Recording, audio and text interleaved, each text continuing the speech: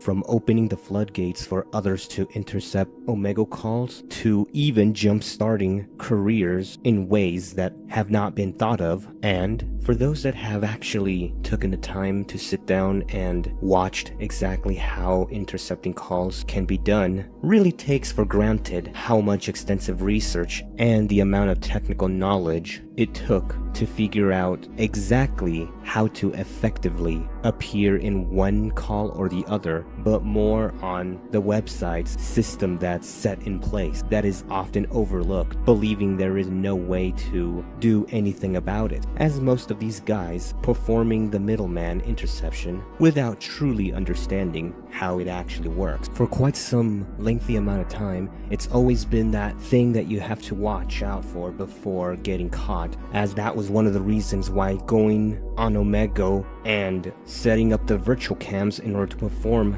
the middleman method can be quite tedious and if you're not careful enough can result in a ban and from there you'll have to figure out how to either unban yourself or wait a while. But that's not something most of us would want to do. And so we got to work in figuring out how to further get on Omegle without triggering detection and I found out how and it turns out that there are some hidden detection systems that can be bypassed with some additional steps to take. Plus, you can also do this to perform the infamous fake skipping method that uses a real loading screen for authenticity. So this is what you will need to do to get started.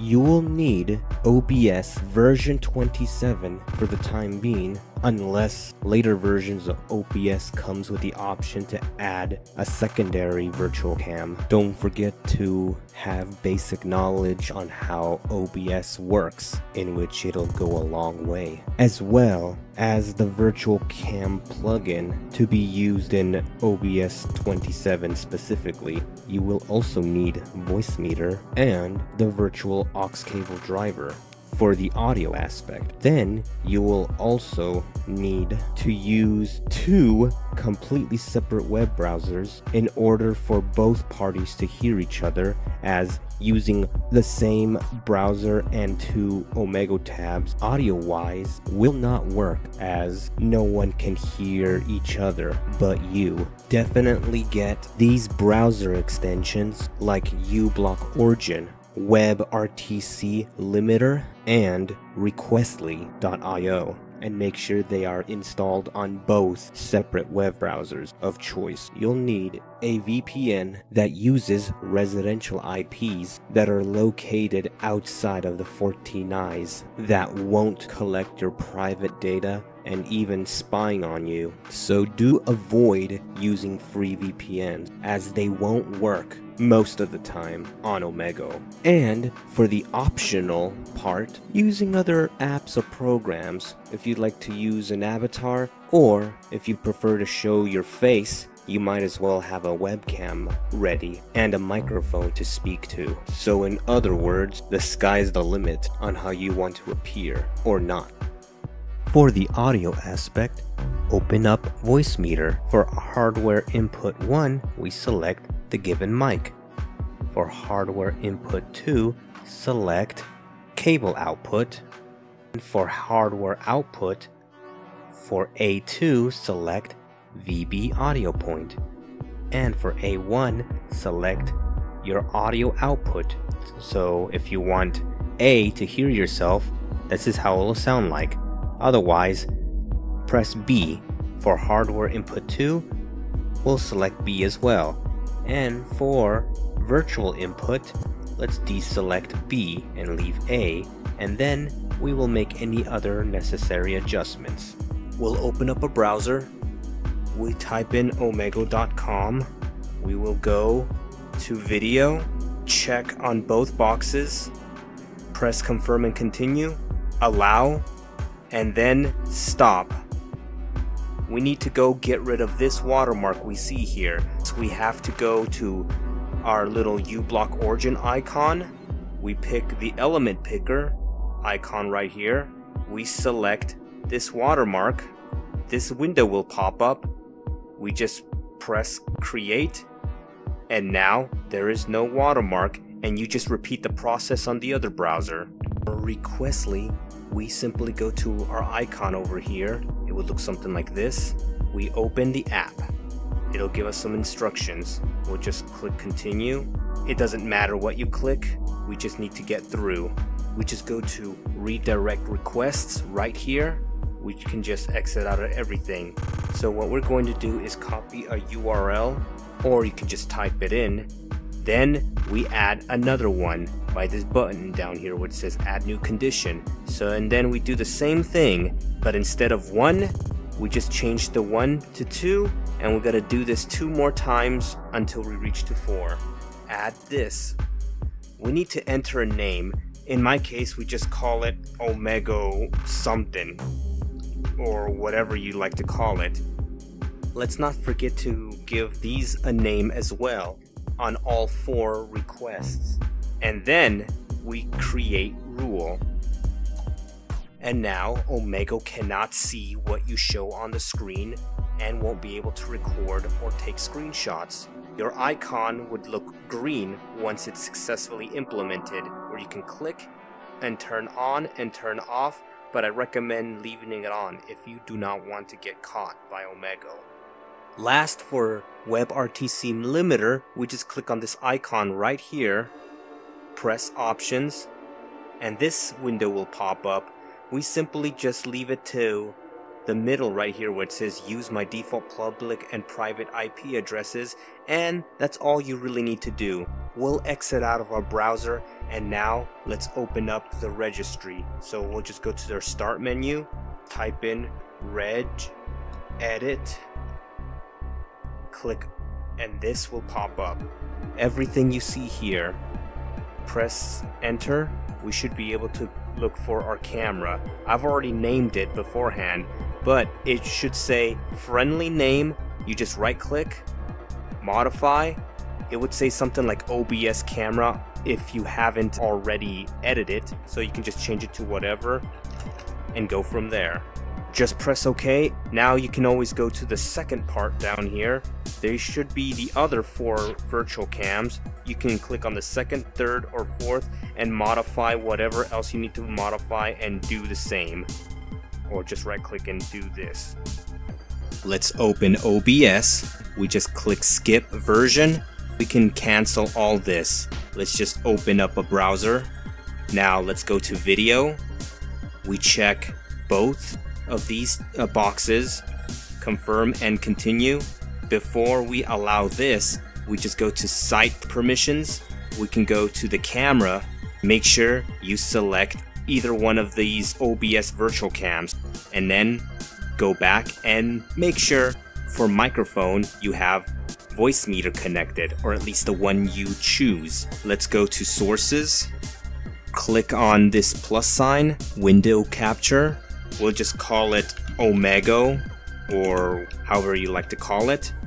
Click OK. You make sure it is selecting your browser. Uncheck all that and press OK. We can go and make and allow. But before we can start, we need to pause everything. Now we go back to OBS. We go and right click on scene, then filter, and on this plus, we'll add virtual cam and you just select this and OK. Now in our case, we are going to just select the first one and we can start it. You may have to do this every single time you want to open Omegle. Now, let's close this. We got our first window. We need to open a second scene. So we go back here to this plus, name it whatever you like, press OK. So we're going to open a separate browser like Chromium as a demonstration. We'll go back to Omegle, we go to video, check on both like the first, confirm and continue. We'll just allow, pause all this, and also click on stop auto rolling. We go to this icon again, manage, click on camera, and make sure it is to the secondary virtual cam you're selecting. Definitely make sure microphone, that Voicemeeter is also connected or selected even. We go back to OBS. For the second scene, press the plus button. Then window capture. Name this something like Omegle 2. Click OK. Basically do the same thing and make sure it is selected to whichever one. So in our case, we'll select the first scene. Uncheck this part. Go back to the first scene. Go back to properties. We will select the second browser or the Chromium one as our demonstration. Now for this part, we're just going to right click, filter, going to add the second virtual cam, and we'll just name it whatever. You won't be able to select the first one if you have it already activated, so you're gonna go to the secondary one. You press start. What we're going to do is we're gonna make some further adjustments. Go to the first scene, right click on the source, then filter, go to the plus, crop pad, press OK, and make any further adjustments. Then we can close this. We simply right click on the source, click on fit to screen or control F, and now it would look something like this. Now you're gonna wanna do the same thing with the other side. I find it a lot easier to go back to source and filter. Right here, we right click, copy or control C, and we can just exit out of this. Now we'll go to the second scene, right click on the second source to filter. Anywhere in this box, we right click and paste. And from there, we can just make any further adjustments. Do the exact same thing by right clicking on the second source, to, and then go to transform and fit to screen or control F. And now we have both scenes. However, we come across a new issue. One side has a black screen. When you, if you were to click on the second scene, it also shows another black screen. In order to solve this, we need to make a third scene. Click here, name it whatever you like, press OK, go to this plus on sources, click on scene. To add existing scene, select the first one, press OK, go back to this button again, then scene, and then select second one, and press OK, you can just make any further adjustments.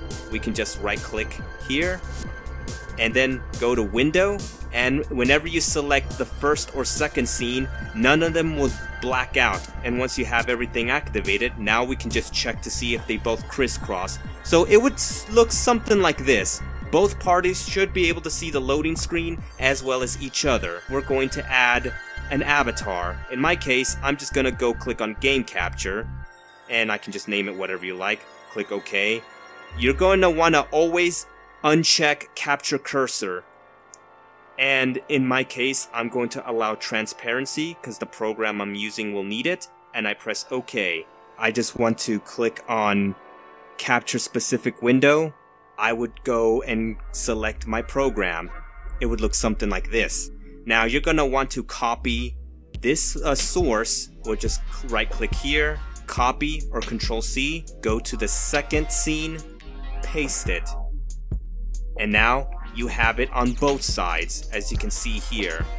Now the last thing we want to do is be able to make it easier to hide the character or whatever you else you want pop up on your screen. So for that we're gonna go to settings, we go to hotkeys, now we look for the source that we want to hide.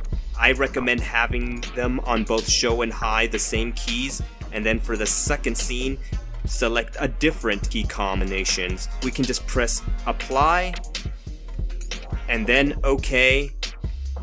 And now you should be able to hide your avatar just like that with just a simple key, hotkey shortcut. For the amount of steps needed in order to get on Omegle and not trigger the auto moderation detection system, your chances of getting banned will come at the form of someone manually reporting you, and there's a good chance that the website may get patched, rendering some of these methods unusable. So be careful on what you share, say, or show, cause you will never know who would be behind that screen before it is too late, so use at your own risk. And special thanks to those who pledged, donated, and contributed to making this tutorial possible. Till then, this is LR7 showing how to fake skip middleman and avoid getting detected and logging out. Oh, man. Oh. Wow, this is awkward do.